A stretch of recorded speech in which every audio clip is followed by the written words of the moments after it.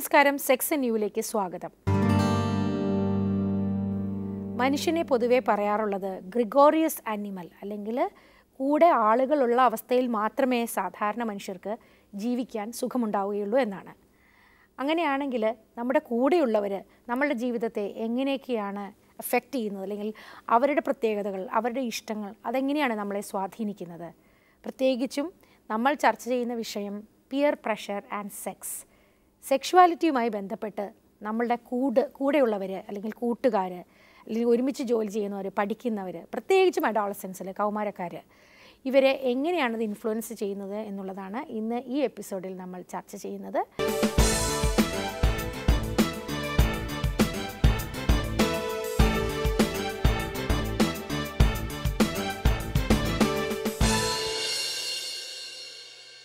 ആത്മീയ യാത്ര ടെലിവിഷന്.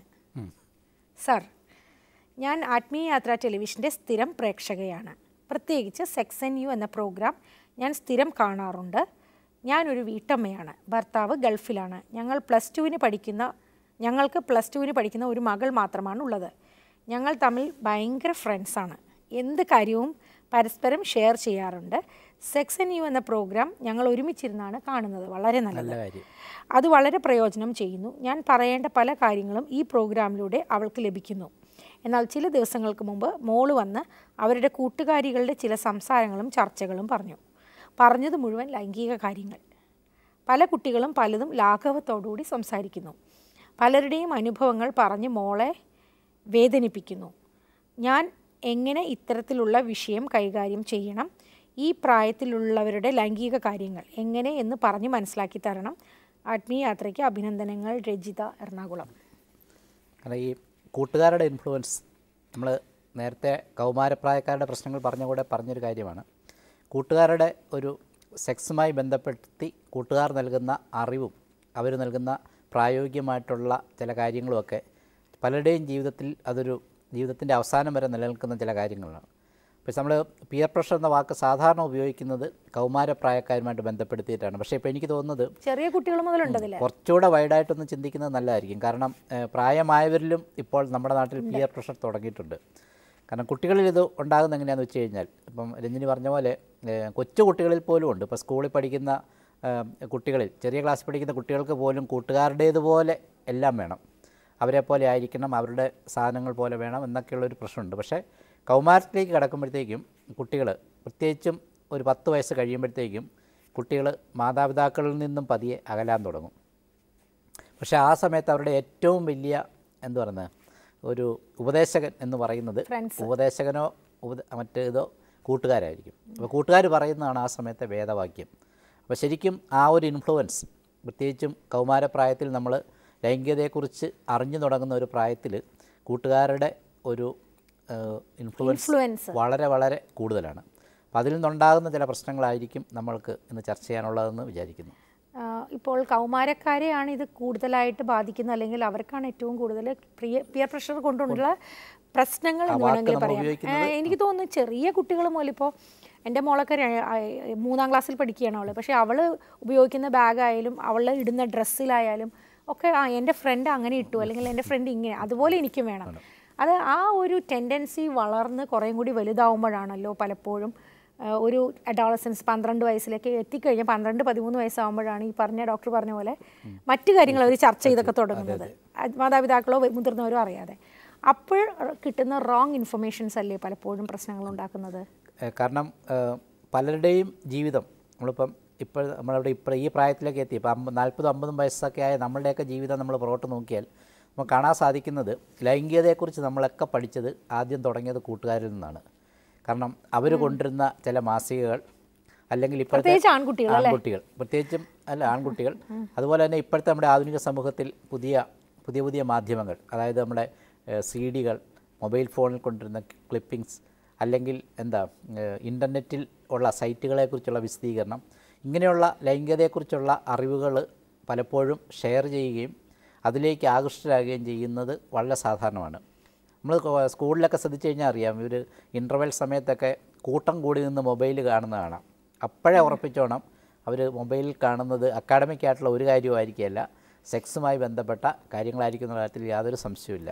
ഒരു പക്ഷേ ആ പ്രായത്തിൽ ഡോക്ടർ ഇത് പറഞ്ഞപ്പോഴാണ് ആ പ്രായത്തിലായിരിക്കുമല്ലോ അവരുടെ സെക്ഷുവൽ ഏർജ് ഡെവലപ്പ് ചെയ്യുന്ന ശരീരത്തിന് വരുന്ന മാറ്റങ്ങൾ ഞാൻ ഒരു പുരുഷനായിക്കൊണ്ടിരിക്കുന്നു അല്ലെങ്കിൽ ഞാനൊരു സ്ത്രീ ആയിക്കൊണ്ടിരിക്കുന്നു എന്റെ ശരീരത്തിൽ ഇന്ന ഇന്ന മാറ്റങ്ങൾ വരുന്നുണ്ട് എന്റെ ശബ്ദം മാറുന്നു അല്ലെങ്കിൽ എന്റെ പ്രൈവറ്റ് പാർട്സിലൊക്കെ പലതരം മാറ്റങ്ങൾ വരുന്നു അങ്ങനെ ബ്രസ്റ്റ് വളരുന്നു. ഇതൊക്കെ ചിന്തിക്കുന്ന ആ പ്രായത്തിലാണ് അപ്പോൾ അവരവരെ പറ്റി തന്നെയുള്ള ഒരു ഉത്കണ്ഠ അല്ലെങ്കിൽ എന്താണ് എന്നുള്ള അറിയാനുള്ള കൗതുകമായിരിക്കുമല്ലോ ഇത്തരത്തിലുള്ള അത് നമ്മൾ പറയുന്ന ഒരു ഇമേജ് കോൺഷ്യസ് അതായത് നമ്മളുടെ ശരീരത്തെക്കുറിച്ചുള്ള ഒരു കൺസെപ്റ്റ് അല്ലെങ്കിൽ ഒരു ചിന്ത ഡെവലപ്പ് ചെയ്യുന്നത് ആ പ്രായത്തിലാണ്. നമ്മൾ ഐഡന്റിറ്റി എന്നൊക്കെ പറയും. അപ്പോൾ അതിനകത്ത് തന്നെ രണ്ട് മറ്റു കാര്യം പറയുന്നുണ്ട് ഐഡന്റിറ്റി ക്രൈസിസ് എന്ന് പറയും. കാരണം ഞാൻ മറ്റൊരാളെ പോലെയാണോ? അല്ലെങ്കിൽ എന്റെ ഡെവലപ്മെന്റ് എല്ലാം കറക്റ്റാണോ എന്നുള്ള ഒരു ഒരു ക്രൈസിസ് സ്റ്റേജും കൂടിയാണത് ശരിക്കും സെക്സിനെ കുറിച്ച് നമ്മൾ പറയില്ല ഇപ്പം ആൺകുട്ടികളെക്കുറിച്ച് നമ്മൾ എപ്പോഴും പറയുന്നൊരു കാര്യമുണ്ട്. കാരണം അവരെല്ലാവരും എപ്പോഴും പരാതി പറയുന്ന അവർ ഏറ്റവും വലിയ സംശയം പുരുഷലിംഗത്തിന്റെ വലുപ്പത്തെക്കുറിച്ചാണ് ഈ ഒരു കമ്പാരിസണും ഡിസ്കഷനും തുടങ്ങുന്നത് ശരിക്കും കൂട്ടുകാരിൽ നിന്നാണ്. ഇപ്പോൾ ഉദാഹരണത്തിന് നമ്മൾ എനിക്ക് ഞാൻ ശ്രദ്ധിച്ചിട്ടുണ്ട് ഇപ്പോൾ എന്റെ മൂത്ത മകൻ പത്താം ക്ലാസ്സിലാണ് പഠിക്കുന്നത്. അപ്പോൾ പത്താം ക്ലാസ്സിൽ പഠിക്കുന്ന മറ്റു കൂട്ടുകാർ ചിലർ ഷേവ് ചെയ്തിട്ടാണ് വരുന്നത്. അങ്ങനെയാണെങ്കിൽ എനിക്ക് എന്തുകൊണ്ട് ഷേവ് ചെയ്തുകൂടാ എനിക്ക് മീശ എനിക്ക് മീശ വന്നോട്ടെ വേഗം. അപ്പോൾ ഒരു ഏജ് അല്ലെങ്കിൽ പെട്ടെന്ന് തന്നെ മുതിർന്ന വ്യക്തിയാവാൻ പെട്ടെന്ന് തന്നെ പുരുഷനാവാൻ അല്ലെങ്കിൽ പെട്ടെന്ന് തന്നെ സ്ത്രീ ആവാനുള്ള ഒരു ഏജ് ആ പ്രായത്തിൽ ഉണ്ടാവുന്നുണ്ട്.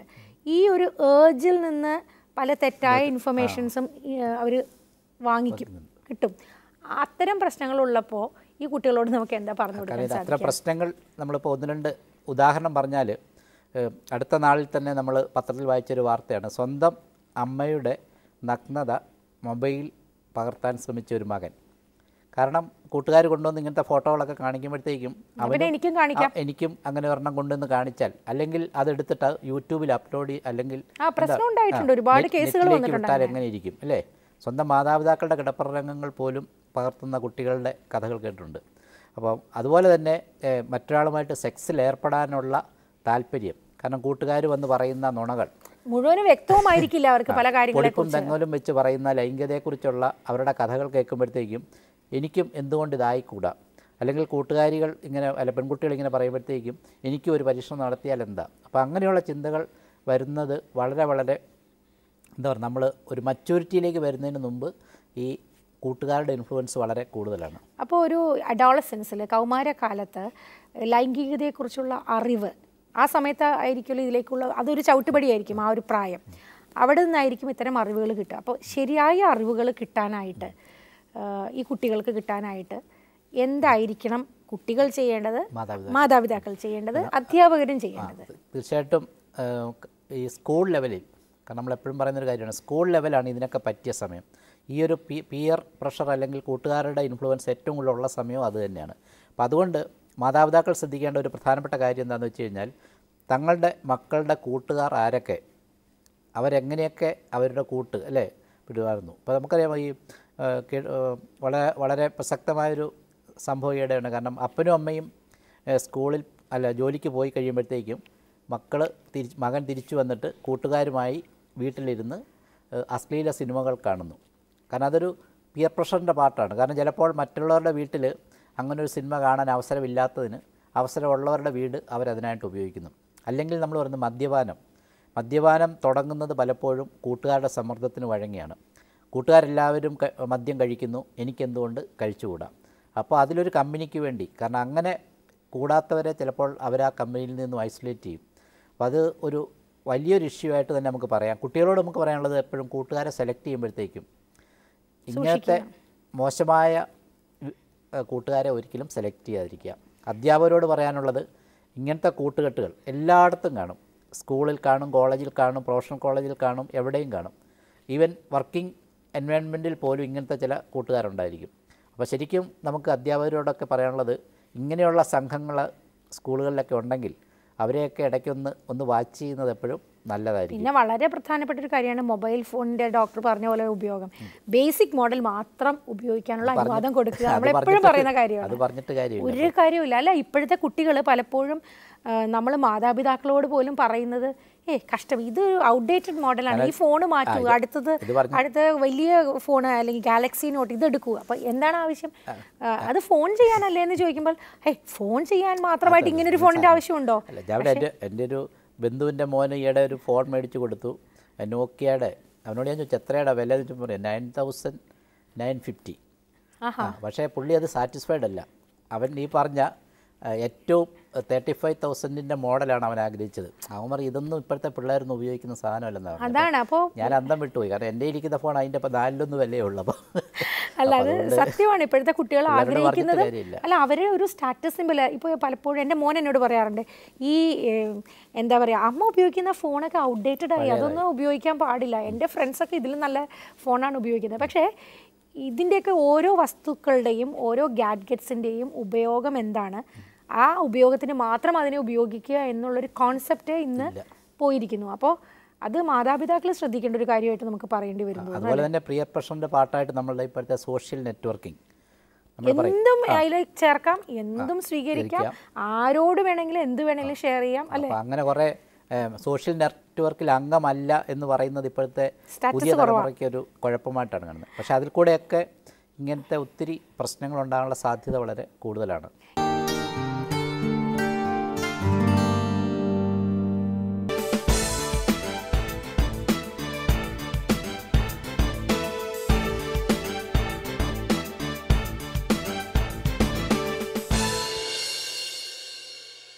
ഡോക്ടർ ആദ്യം പറഞ്ഞതുപോലെ ഈ ചില തരത്തിലുള്ള video film sex hot video films. ഇന്റർനെറ്റിൽ പോയി ഹോട്ട് എന്ന് അടിച്ചു കഴിഞ്ഞാൽ ഒരുപാട് കാര്യങ്ങൾ വരും. ഇപ്പോൾ കഴിഞ്ഞ ഇപ്പോൾ ഈ ഷൂട്ടിന് മുമ്പ് ഇവിടെയുള്ള ഒരു ക്രൂ എന്നോട് പറയുമായിരുന്നു. ആയിരിക്കും അല്ലല്ല അതെ അല്ല സത്യം. ഇപ്പോൾ ഈ ഇതിന് മുമ്പ് ഷൂട്ടിന് മുമ്പ് നമ്മുടെ ക്രൂ ഒരാൾ പറയായിരുന്നു നമ്മളുടെ പേ ഈ പ്രോഗ്രാമിന്റെ പേര് സെക്സ് ആൻഡ് യു എന്ന് അടിക്കുമ്പോൾ സെക്സ് ആൻഡ് യു പ്രോഗ്രാം എന്ന് അടിക്കുമ്പോൾ തന്നെ ഇതുമായിട്ട് യാതൊരു ബന്ധമില്ല നമ്മൾ വളരെ സഭ്യമായ കാര്യങ്ങൾ പറയുന്നത് വളരെ ഡിഫറെന്റ് ആയിട്ടുള്ള കാര്യങ്ങളെല്ലാം കുറേ സൈറ്റിലൂടെ യൂട്യൂബിലൊക്കെ വരുന്നുണ്ട്. അപ്പോൾ ഇത് പെട്ടെന്ന് തന്നെ ഏതൊരു കാര്യം സമീപിക്കുമ്പോഴും പഠിക്കാനോ അറിയാനോ ശ്രമിക്കുമ്പോൾ അവരുടെ മുന്നിലേക്ക് സാധ്യതകൾ വരിക ചെയ്യുന്നത്. അപ്പോൾ സാധ്യതകൾ സ്വാഭാവികമായിട്ടും ഒരാൾ തീർച്ചയായിട്ടും അതിലേക്ക് ആകാംക്ഷ ഇല്ലാതിരിക്കും ആ പ്രായത്തിൽ അപ്പോൾ അതിനെ ഉപയോഗിക്കുന്നു എന്നുള്ളതാണ്. പക്ഷേ അവിടെ നിയന്ത്രിക്കാനുള്ളൊരു അവസ്ഥ മനസ്സിനുണ്ടാവുക കൂടെ നിയന്ത്രിക്കാൻ വ്യക്തികൾ കൂടെ ഉണ്ടാവുക എന്നുള്ളത് മാത്രമേ ഉള്ളൂ അല്ലേ? അതിനകത്ത് മറ്റൊരു കാര്യം ഇത്തരം വീഡിയോയിലൊക്കെ കാണുന്നത് വളരെ എക്സാജറേറ്റഡ് ആയിട്ടുള്ള അതിഭാവുകത്വം നിറഞ്ഞ കാഴ്ചകളാണ്. ഒരിടത്തും സംഭവിക്കാൻ സാധ്യതയില്ലാത്തതോ അല്ലെങ്കിൽ സാധാരണ മനുഷ്യർക്ക് സംഭവിക്കാത്ത കാര്യങ്ങളൊക്കെ ആയിരിക്കും. അപ്പോൾ അത്തരം കാഴ്ചകൾ എങ്ങനെയാണ് ഈ കുട്ടികളെ അപകടത്തിലേക്ക് കൊണ്ടുപോകുന്നത്? വെറുതെ ഒരു അപകടം എന്ന് പറഞ്ഞാൽ പോരാ അത് കുറച്ചുകൂടി വിശദീകരിച്ചു കാരണം ലൈംഗ് ഇപ്പോൾ ഒരു എക്സ് ഒരു ഉദാഹരണം പറഞ്ഞു കഴിഞ്ഞാൽ വലിയ പു- പുരുഷലിംഗങ്ങൾ. അപ്പോൾ ഇത് കാണുന്ന ഒരു കുട്ടിയുടെ മനസ്സിലേക്ക് കയറുന്ന ഒരു മെസ്സേജ് എന്ന് പറഞ്ഞു കഴിഞ്ഞാൽ നമ്മൾ ഇപ്പം ഈ സെക്സ് വീഡിയോയിലൊക്കെ അങ്ങനെയൊക്കെ ഉള്ള വെറുതെ എന്ത് പറയുന്നത് ഒരു എക്സാജറേറ്റഡ് ആയിട്ട് കാണിക്കും. അപ്പോൾ കുട്ടികളുടെ മനസ്സിൽ കിട്ടുന്ന ഒരു പിക്ചർ ഒരു പുരുഷന്റെ ലൈംഗികാവയവം എന്ന് പറഞ്ഞാൽ ഇങ്ങനെ ഇരിക്കണം. ഇതാണ് ശരി. ആ ഇങ്ങനെ ഇല്ലെങ്കിൽ കുഴപ്പമാണ്. പെൺകുട്ടികളുടെ ആണെങ്കിലും അതുപോലെ തന്നെ വലിയ സ്ഥലങ്ങൾ. കാരണം യാതൊരു കമ്പാരിസണും ഇല്ലാത്ത തരത്തിലുള്ള വലിയ സ്ഥലങ്ങൾ കാണിക്കുമ്പം കുട്ടികൾ വിചാരിക്കും എനിക്കെന്തോ കുഴപ്പമുണ്ട്. അതുപോലെ തന്നെ ലൈംഗികമായിട്ടുള്ള നമ്മൾ പറഞ്ഞ അബ്നോർമൽ സെക്സ് വളരെ പ്രൊജക്റ്റ് ചെയ്ത് ഇങ്ങനെയുള്ള കൂട്ടുകെട്ടിൽ പോകുന്ന കുട്ടികൾ അതിനെക്കുറിച്ച് പഠിക്കാറുണ്ട്. അപ്പോൾ അങ്ങനെയുള്ള കുട്ടികളുടെ മനസ്സിലേക്ക് അത് കയറുന്ന ഒരു സന്ദേശമെന്ന് പറയുന്നത് ഇതൊക്കെയാണ് ലൈംഗിക ജീവിതം. അത് പക്ഷേ പ്രായോഗിക തലത്തിൽ അവരുടെ ജീവിതത്തിലേക്ക് വരുമ്പോഴത്തേക്കും ഒരു വലിയ പരാജയമായിട്ട് വരാൻ സാധ്യതയുണ്ട്. പിന്നെ അതുപോലെ തന്നെ നമ്മൾ നേരത്തെ ഡിസ്കസ് ചെയ്ത വിഷയം സ്വയംഭോഗത്തെക്കുറിച്ചുള്ള ഡിസ്കഷൻ കാരണം കൂട്ടുകാരൊക്കെ ഇതിനെക്കുറിച്ച് സംസാരിക്കുന്നു. പരീക്ഷണങ്ങൾ നടത്തുന്നു അതിനെക്കുറിച്ച് വലിയ കഥകളൊക്കെ പറയുന്നു. അപ്പോൾ അത് കേൾക്കുമ്പോൾ സാധാരണ ഉള്ളതായിട്ടുള്ളൊരു കുട്ടിക്കും തോന്നും ഞാനും ഒന്ന് പരീക്ഷിച്ചാൽ എന്താ? നമ്മളത് അഡോളസന്റ് ഏജിനെക്കുറിച്ച് എപ്പോഴും പറയുന്നത് ആൻ ഏജ് ഓഫ് എക്സ്പെരിമെന്റ് എന്നാണ്. കേൾക്കുന്നതൊക്കെ പരീക്ഷിക്കാൻ തോന്നുന്ന ഒരു പ്രായമാണ്. അപ്പോൾ ശരിക്കും ഈ കൂട്ടുകാരുടെ ഇൻഫ്ലുവൻസ് അല്ലെങ്കിൽ പിയർ പ്രഷർ അവരുടെ നമ്മുടെ സെക്സുമായി ബന്ധപ്പെട്ട് പറഞ്ഞാൽ വളരെ പ്രധാനപ്പെട്ട ഒരു കാര്യമായിട്ട് തന്നെ അത് പറയേണ്ടി വരും. അപ്പോൾ ചില കുട്ടികൾ ഒരിക്കൽ എന്റെ അടുത്തൊരു ബോംബെയിലുള്ള ഒരു പെൺകുട്ടി വന്ന് സംസാരിച്ച സമയത്ത് നന്നായി പഠിച്ചുകൊണ്ടിരുന്ന കുട്ടിയാണ് പെട്ടെന്ന് ഒൻപതാം ക്ലാസ്സിൽ എത്തിയപ്പോഴേക്കും പെട്ടെന്ന് ഡൗൺ ആയി. അപ്പോൾ കാരണം ആ കുട്ടി പിന്നീട് വിശദീകരിച്ച് പറഞ്ഞത് ഇത്തരം ഫീലിങ്സ് അത് ഇതുപോലെയുള്ള വീഡിയോ ഫിലിംസ് ഒക്കെ കാണാനിടയാവുകയോ അല്ലെങ്കിൽ അത്തരത്തിലുള്ള ചില റിലേഷൻഷിപ്പിൽ ചെന്ന് പെടുകയൊക്കെ ഉണ്ടായിട്ടുണ്ടാവും. അപ്പോൾ ഈ ഇത്തരം കാര്യങ്ങൾ ആ കുട്ടിയെ അത് മാത്രമാവുന്നു മനസ്സിലെ ചിന്ത. അതിൽ നിന്ന് പുറത്തേക്ക് കിടക്കണം. നല്ലൊരു മനോഭാവമാണ് ആ കുട്ടി പറഞ്ഞത്. അതായത് എനിക്കിതിൽ നിന്ന് പുറത്തേക്ക് കിടക്കണം. എനിക്കിത് മാത്രമായി കഴിഞ്ഞാൽ എനിക്ക് ഒന്നും കോൺസെൻട്രേറ്റ് ചെയ്യാൻ പറ്റുന്നില്ല പഠിക്കാൻ പറ്റുന്നില്ല ദൈനംദിന കാര്യങ്ങളിൽ ഒന്നും ശ്രദ്ധിക്കാൻ സാധിക്കുന്നില്ല. അപ്പോൾ അങ്ങനെയുള്ള അവസ്ഥയിലുള്ള കൗമാരക്കാരുണ്ടാവും. നമ്മൾ ഇത് കണ്ടുകൊണ്ടിരിക്കുന്നവരിൽ അങ്ങനെയുള്ളവർ എങ്ങനെയാണ് എന്താണ് നെക്സ്റ്റ് സ്റ്റെപ്പ് അവരുടെ? എന്തായിരിക്കണം അവർ ചെയ്യേണ്ടത്? ഇന്ന് പുറത്ത് കിടക്കാൻ. ഇത് പറഞ്ഞപ്പോഴാണ് പലപ്പോഴും പഠിത്തത്തിൽ പിന്നോക്കം പോകുന്ന കുട്ടികൾ കാരണം പലപ്പോഴും നമ്മൾ കാണുന്ന കാര്യമാണ്. പത്താം ക്ലാസ് വരെ നല്ല. കാരണം ഞാൻ ഈയിടെ ഒരു ഇന്റർവ്യൂവിന് ഇന്റർവ്യൂറായിട്ട് ഇരുന്നപ്പോൾ ഞാൻ കണ്ട ഒരു കാര്യം എന്ന് വെച്ച് കഴിഞ്ഞാൽ പത്താം ക്ലാസ്സിൽ eighty percent eighty five percent മാർക്കുള്ള കുട്ടികൾ പ്ലസ് ടുവിന് വന്നപ്പോഴത്തേക്കും സിക്സ്റ്റി ഫിഫ്റ്റി ഫൈവ് ലെവലിലേക്ക് പോകുന്നു. പെട്ടെന്ന് ഷാർപ്പായിട്ടൊരു ചേഞ്ച് കാരണം അങ്ങനെ പഠിത്തത്തിൽ പെട്ടെന്ന് പുറകോട്ട് പോകുന്ന കുട്ടികളിൽ പലപ്പോഴും ഇങ്ങനത്തെ ഇഷ്യൂസ് കാണാറുണ്ട്. ഒന്ന് സെക്സിനെക്കുറിച്ചുള്ള അമിതമായ ചിന്തകൾ പഠനത്തിൽ ശ്രദ്ധിക്കാതെ എല്ലാത്തിനും ഈ ലൈംഗികതയുമായി ബന്ധപ്പെട്ട കാര്യങ്ങൾ സംഘടിപ്പിക്കാൻ വേണ്ടി ഓടി നടക്കുന്ന കുട്ടികൾ രണ്ടാമത് ലൈംഗിക വൈകൃതങ്ങളെക്കുറിച്ച് മാത്രം ചിന്തിക്കുന്നവർ ഒരു കുട്ടി പറഞ്ഞാണ് ദിവസം അഞ്ചു പ്രാവശ്യം സ്വയംഭോഗം ചെയ്യുന്ന മാസ്റ്റർബേഷൻ അപ്പോൾ വേറെ അവന് പഠിക്കാൻ എവിടെയാണ് സമയം? ഹോംവർക്ക് ഹോംവർക്ക് ചെയ്യാൻ എവിടെയാണ് സമയം? അവന് ഇത് മാത്രമേ ചിന്തയുള്ളൂ അല്ലേ? അപ്പം എന്ന് പറഞ്ഞ പോലെ അമിതമായിട്ടുള്ള ഇങ്ങനത്തെ ആകാംക്ഷകൾ കൊണ്ട് എത്തിക്കുന്നത് നമ്മളുടെ നോർമലായിട്ടുള്ള റൊട്ടീനായിട്ടുള്ള ജീവിത ശൈലിയിൽ പ്രശ്നങ്ങൾ ഉണ്ടാക്കലാണ്. അപ്പം അപ്പോൾ ഇത് ഇത്തരം സാധ്യതകൾ ഇത്തരം കാര്യങ്ങൾ കാണുമ്പോൾ അതിഭാഗത്വം നിറഞ്ഞ കാര്യങ്ങൾ കാണുമ്പോൾ അത് പ്രാവർത്തികമാക്കാനുള്ളൊരു ശ്രമം ഉണ്ടാവും അതുമാത്രമല്ല അവർ അവർ തന്നെത്താൻ ഞാൻ ശരിയാണോ? ഞാൻ എല്ലാ എല്ലാറ്റിനും പോന്നവളാണോ? പോന്നവനാണോ? ഇത്തരത്തിലുള്ള ചിന്തകൾ പലപ്പോഴും അവരെ അവരുടെ സ്വഭാവത്തിനെയും ജീവിതത്തെ തന്നെ ബാധിക്കാം ഒരു കാര്യം കൂടെ പറയാനുള്ളത് നമ്മുടെ സെക്സ്വൽ അപ്പിയറൻസ് അപ്പീൽ എന്ന് പറയുന്ന തരത്തിലുള്ള ഡ്രസ്സിങ്സ് അത് സെക്സ് അപ്പീൽ സെക്സ് അപ്പീൽ അങ്ങനെ ഡ്രസ്സ് ചെയ്ത് നടക്കുക. ആൺകുട്ടിയാണെങ്കിലും പെൺകുട്ടിയാണെങ്കിലും അതും ഒരു പിയർ പ്രഷറിന്റെ പാർട്ടായിട്ട് വരും. കാരണം കൂട്ടുകാരങ്ങനെ നടക്കുന്നു. എനിക്കെന്തുകൊണ്ട് നടന്നുകൂടാ? പിന്നെ വീട്ടിൽ ഇതിനെ ഇതിന്റെയൊക്കെ ഒരു മറ്റൊരു വശം എന്ന് പറഞ്ഞു കഴിഞ്ഞാൽ കുടുംബങ്ങളിൽ ഇത് സംഘർഷങ്ങളുണ്ടാക്കും പലപ്പോഴും ഒരു എന്താണ് നല്ല വളരെ അച്ചടക്കത്തോടെ ജീ ജീവിക്കുന്ന പേരൻസിന്റെ മക്കൾ ഇതുപോലെയുള്ള കാര്യങ്ങളിലേക്ക് പോകുമ്പോൾ ആ ഒരു കാര്യത്തിന്റെ പേരിൽ തന്നെ കുടുംബത്തിൽ വഴക്കുണ്ടാകുന്ന ഒത്തിരി കണ്ടിട്ടുണ്ട്. കാരണം ഒന്ന് രണ്ട് ഇഷ്യൂ എന്ന് പറഞ്ഞാൽ ഒന്ന് പ്രണയം. പിയർ പ്രഷറിന്റെ ഒരു വലിയ ഇമ്പാക്റ്റാണ് കാരണം കൂട്ടുകാർക്കെല്ലാം ഫ്രണ്ട്സ് ഉണ്ട്. എനിക്ക് മാത്രം ഫ്രണ്ട്സ് ഇല്ല. അപ്പോൾ അതുകൊണ്ട് ഞാനും ഒരാളെ കണ്ടുപിടിച്ചേക്കാം. അത് നമ്മുടെ സാഹചര്യത്തിനോ വിദ്യാഭ്യാസത്തിനോ നിലവാരത്തിനോ ചേരുന്നതാണോ എന്നല്ല നോക്കുന്നത്. ഒരാളെ വേണം. കുറഞ്ഞ പക്ഷേ ഒരാളുണ്ടാവുക അതാരെങ്കിലും ആകട്ടെ. അപ്പം അതൊക്കെ വീടുകളിലെ ബന്ധങ്ങൾ കുടുംബം തകർക്കുന്നതായിട്ട് കണ്ടിട്ടുണ്ട്. അപ്പോൾ ഇനി നമുക്ക് കുട്ടികളോട് പറയാനുള്ളത് ഈ- പിയർ പ്രഷർ ഒക്കെ നല്ലതാണ് കൂട്ടുകാർ നല്ലതാണ്. അതൊരു കോമ്പറ്റേറ്റീവ് സ്പിരിറ്റിൽ പോവുകയാണെങ്കിൽ നല്ലതാണ്. അല്ല കൂട്ടുകാർ നല്ലതാണ് കൂട്ടുകാർ തരുന്ന അറിവുകൾ നല്ലത് സ്വീകരിക്കുക. പക്ഷെ ഒരിക്കലും നമ്മുടെ ജീവിതത്തെ മറ്റുള്ളവർ നിയന്ത്രിക്കുന്ന ഒരു സ്റ്റേജിലേക്ക് ഒരിക്കലും പോകരുത് അതാണ് നമുക്ക് കുട്ടികളോട് പറയാനുള്ളത്. എപ്പോഴും അതിന്റെ കടിഞ്ഞാൺ അല്ലേ? കടിഞ്ഞാൺ നമ്മുടെ കയ്യിലായിരിക്കണം. കൂട്ടുകാരെന്തൊക്കെ കാണിച്ചാലും നമുക്ക് നമ്മുടേതായിട്ടുള്ള ഒരു ഐഡന്റിറ്റിയും വ്യക്തിത്വമൊക്കെ ഉണ്ടെങ്കിൽ മോശമായ കാര്യങ്ങളിലേക്ക് ഒരിക്കലും നമ്മൾ പോവില്ല. പണ്ടത്തെ കാലത്തൊക്കെ ഇപ്പോൾ നമ്മളുടെയൊക്കെ ചെറുപ്പകാലങ്ങളിൽ നമുക്കറിയാം നമ്മുടെ പേരൻസിന്റെ അടുത്ത് എന്തെങ്കിലും കാര്യം ഓപ്പൺ അപ്പ് ചെയ്യാൻ നമുക്കൊരു ഭയം ഉണ്ടായിരുന്നു. ഒരു അദൃശ്യമായിട്ടുള്ള ഒരു ചുവരുണ്ട് അതിന്റെ ഇടയിൽ. നമ്മൾ പറയുന്ന കാര്യം എന്തൊക്കെ പറയാം? എവിടം വരെ പറയാം? അങ്ങനെയായിരുന്നു. പക്ഷേ അതിൽ നിന്ന് ഇപ്പോൾ കുറേ കുട്ടികൾ കുറേ കൂടി പേരൻസ് നമ്മ നമ്മളൊക്കെ തന്നെ വളരെ ഫ്രണ്ട്ലിയാണ് കുട്ടികളുടെ അടുത്ത്. പക്ഷേ ഇത്രയൊക്കെ ഫ്രണ്ട്ലി ആവുമ്പോഴും പലപ്പോഴും ഞാൻ ശ്രദ്ധിച്ചിട്ടുള്ള പല എന്റെ സുഹൃത്തുക്കളും പറഞ്ഞു മക്കൾ അവരുടെ കാര്യങ്ങൾ ഓപ്പൺ അപ്പ് ചെയ്യാൻ ഒരു മടി കാണിക്കുന്നുണ്ട്. അവരെല്ലാം പറഞ്ഞു എന്ന് പറയും. പക്ഷേ അവർ ചില കാര്യങ്ങൾ മാറ്റി മാറ്റിവെക്കും ചില അമ്മമാർ പൊട്ടിക്കരഞ്ഞുകൊണ്ട് പറയാറുണ്ട് ഞങ്ങൾ ഇപ്പോഴാണ് അറിയുന്നത് കാരണം മോൾ ഗർഭിണിയായി ഹോസ്പിറ്റലിൽ കൊണ്ടുവരുമ്പോഴാണ് അമ്മ അറിയുന്നത് മോൾ ഗർഭിണിയാണെന്നുള്ളത്. അല്ലെങ്കിൽ ഒരാളുടെ കൂടെ ഒളിച്ചോടി പിടിച്ച് കെട്ടി തിരിച്ച് കെട്ടി പിടിച്ചു കൊണ്ടുവരുമ്പോഴാണ് അമ്മയും അപ്പനും അറിയുന്നത് മോൾക്ക് ഇങ്ങനെ ഒരു ബന്ധമുണ്ടെന്ന്. സ്വന്തം മോൾക്ക് മൊബൈൽ ഫോൺ ഉണ്ടെന്നൊരു പേരന്റ് അറിയുന്നത് മോൾ ഒരാളുടെ കൂടെ ഒളിച്ചോടുമ്പോഴാണ് എന്നാലോചിച്ച് നോക്കി വീട്ടുകാർ പറയുന്നത് അവർക്ക് മൊബൈൽ ഫോൺ ഇല്ലെന്നാണ് പറഞ്ഞത്. പക്ഷേ ആ പെൺകുട്ടിക്ക് സ്വന്തമായിട്ടൊരു മൊബൈൽ ഫോൺ ഉണ്ടായിരുന്നു. ഇപ്പോൾ എത്രയോ പ്രണയങ്ങളിലും പല ഇത്തരത്തിലുള്ള റിലേ പ്രണയം ശരിയായ അർത്ഥത്തിലുള്ള പ്രണയമല്ല ഞാൻ ഉദ്ദേശിച്ചത്. ഇത്തരത്തിലുള്ള റോങ് ആയിട്ടുള്ള റിലേഷൻഷിപ്പിൽ പലപ്പോഴും കണ്ടിരിക്കുന്നത് ഈ കാമുകനോ അല്ലെങ്കിൽ ബോയ് ഫ്രണ്ടോ പലപ്പോഴും തന്റെ കാമിനിക്ക് അല്ലെങ്കിൽ കാമുകിക്ക് ഗിഫ്റ്റ് ഗിഫ്റ്റ് ചെയ്യുന്നത് ആദ്യം മൊബൈൽ ഫോണാണ് അപ്പം നമ്മൾ പേരൻസിനെ സംബന്ധിച്ചിടത്തോളം കുട്ടികളെ ശ്രദ്ധിക്കുക അസ്വാഭാവികമായിട്ട് അവരുടെ കയ്യിൽ എന്തെങ്കിലും ഉണ്ടോ എന്ന് നോക്കുക. പെരുമാറ്റത്തിൽ വ്യത്യാസം വരും ഉറപ്പായിട്ടും. കുറേയും കൂടി അവരോട് ഫ്രണ്ട്ലി ആയിട്ട് ഇടപഴകുക എന്ന് പറയുന്നതിന്റെ അർത്ഥം അവർ പറയുന്നതെല്ലാം ചെയ്തു കൊടുക്കുക എന്നുള്ളതല്ല. പക്ഷേ അവർക്ക് ഇന്നും ഓപ്പൺ അപ്പ് ചെയ്യാൻ പറ്റുന്ന ഒരു മാനസികാവസ്ഥ നമ്മുടെ വീട്ടിനകത്ത് ഉണ്ടാക്കുക എന്നുള്ളതാണെന്ന് തോന്നുന്നു അല്ലേ? രണ്ട് രണ്ട് ചെറിയ കാര്യങ്ങൾ പേരൻസ് ആൺകുട്ടികളെ സംബന്ധിച്ച് നമ്മൾ പറയുകയാണെങ്കിൽ രണ്ട് ചെറിയ കാര്യങ്ങൾ പേരൻസ് ശ്രദ്ധിക്കാവുന്നത്. ഒന്ന് സമയം തെറ്റി വീട്ടിൽ വരിക. കാരണം ഒരു കുട്ടി സ്കൂളിൽ നിന്നും അല്ലെങ്കിൽ കോളേജിൽ നിന്നും വരേണ്ട ഒരു ഫിക്സഡ് ടൈമിനുള്ളിൽ വരാതെ അധിക സമയം എവിടെയെങ്കിലും ചിലവഴിക്കുന്നുണ്ടെങ്കിൽ തീർച്ചയായിട്ടും അത് അന്വേഷിക്കുക.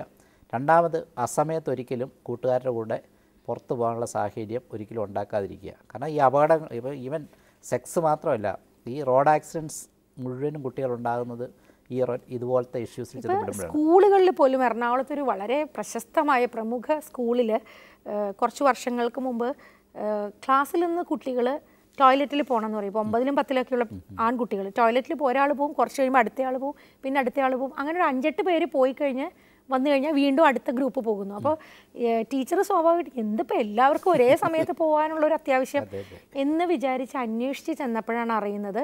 ക്ലാസ് ടൈമിൽ തന്നെ രാവിലെ ഒമ്പത് മണി തൊട്ട് വൈകുന്നേരം മൂന്നര വരെയുള്ള സമയത്ത് തന്നെ വളരെ നല്ല ഫാമിലി ബാക്ക്ഗ്രൗണ്ടിൽ നിന്ന് വരുന്ന കുട്ടികളാണ്.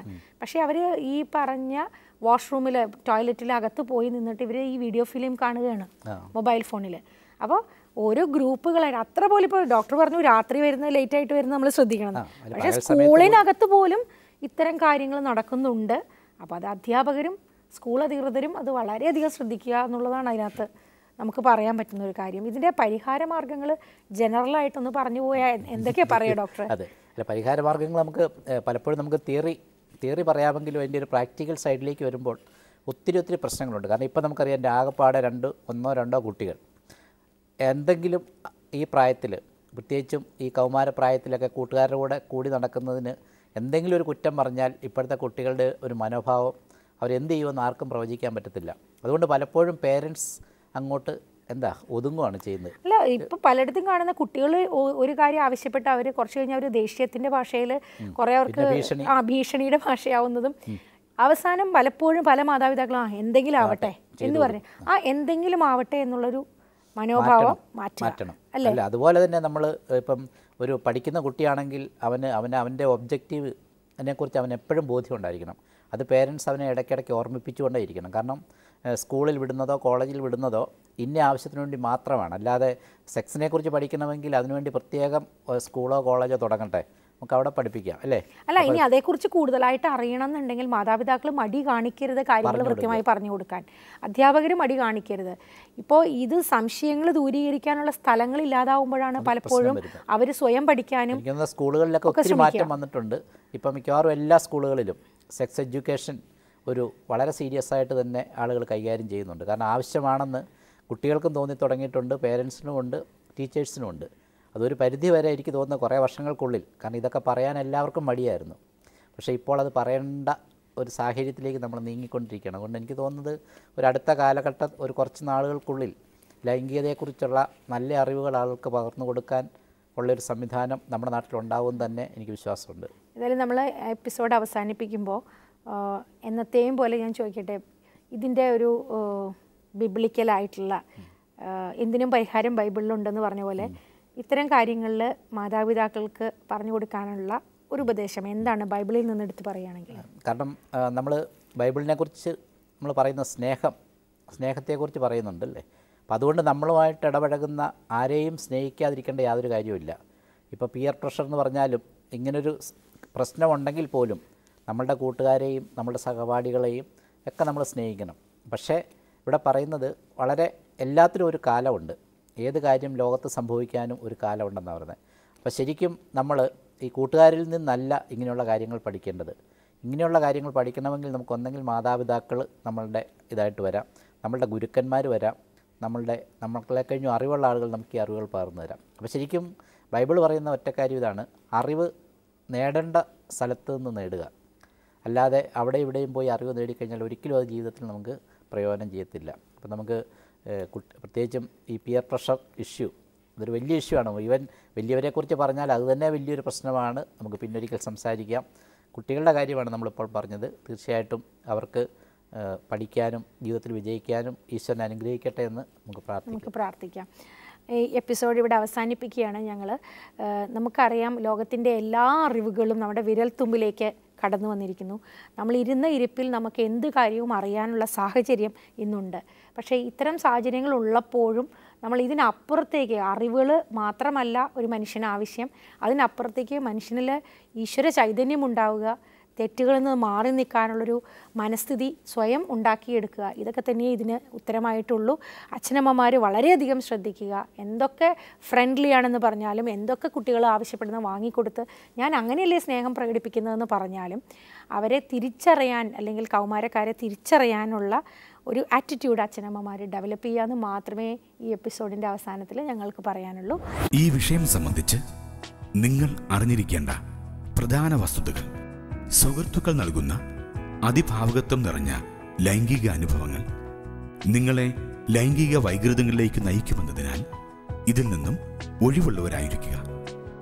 കൗമാരപ്രായത്തിൽ വിവിധ മാധ്യമങ്ങൾ വഴി ലഭിക്കുന്ന ലൈംഗികമായ അറിവുകൾ ശരിയാണോ എന്ന് തിരിച്ചറിയുവാൻ തയ്യാറാകണം. ലൈംഗികത ആസ്വദിക്കാനുള്ള അനുവാദം ദൈവം ഓരോ മനുഷ്യനും നൽകിയിരിക്കുന്നത് അതിന്റെ സമയത്ത് നിയമപരമായി മാത്രം ആസ്വദിക്കുക. സദാചാരമൂല്യം കാത്തു സൂക്ഷിക്കുന്നതിനും സാമൂഹ്യ പ്രതിബദ്ധതയോടും ദൈവിക ചിന്തയോടും ജീവിക്കുന്നതിനുമായി most reverend doctor K P Yohannan മത്രാപ്പോലത്ത് എഴുതിയ നീയും നിന്റെ കുടുംബവും നീയും നിന്റെ ഭാര്യയും നീയും നിന്റെ ഭർത്താവും മക്കളെ ഓർത്ത് എന്നീ പുസ്തകങ്ങൾ വായിക്കുക. എല്ലാവർക്കും നന്മ വരട്ടെ. ഇനിയും ഇത്തരം പ്രോഗ്രാമിലൂടെ കിട്ടുന്ന അറിവുകൾ നന്നായി വിനിയോഗിക്കാനും അല്ലെങ്കിൽ ഒരുപക്ഷെ നിങ്ങൾക്ക് മക്കളോട് എങ്ങനെ പറയുമെന്നൊരു സംശയമുണ്ടെങ്കിൽ അതൊക്കെ മാറ്റി വെച്ചിട്ട് ധൈര്യത്തോടു കൂടി തന്നെ കുട്ടികളോട് സംസാരിക്കുക. എല്ലാവർക്കും നല്ലത് വരട്ടെ. നന്ദി നമസ്കാരം. ഞങ്ങളുടെ വിലാസം ദി പ്രൊഡ്യൂസർ സക്സാനിയു ആത്മീയ യാത്ര television Manjadi P O Thiruvalla അഞ്ച്. ഫോൺ പൂജ്യം നാല് ആറ് ഒൻപത് രണ്ട് ആറ് പൂജ്യം ആറ് ഒൻപത് നാല് രണ്ട് രണ്ട് ആറ് പൂജ്യം ആറ് ഒൻപത് നാല് മൂന്ന്. Email feedback at A Y dot T V prayer at A Y dot T V